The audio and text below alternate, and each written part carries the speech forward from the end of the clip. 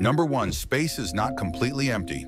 Although it appears empty, space actually contains gas particles, cosmic rays, and even cosmic dust.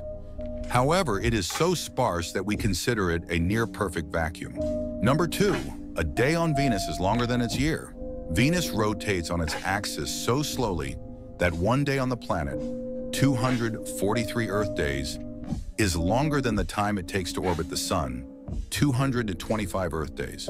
Number three, there's diamond rain on some planets.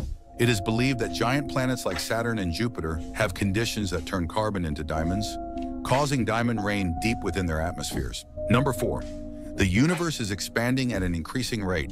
Not only is the universe expanding, but its rate of expansion is accelerating over time, puzzling scientists who are trying to understand the hidden forces behind it, such as dark energy. Number five, space smells like grilled meat. Astronauts who have returned from spacewalks reported that their spacesuits carried a scent similar to burnt charcoal or grilled meat. Scientists believe this is due to chemical interactions between cosmic particles and the materials in their suits. Do you think this information is real? Write to us in the comments.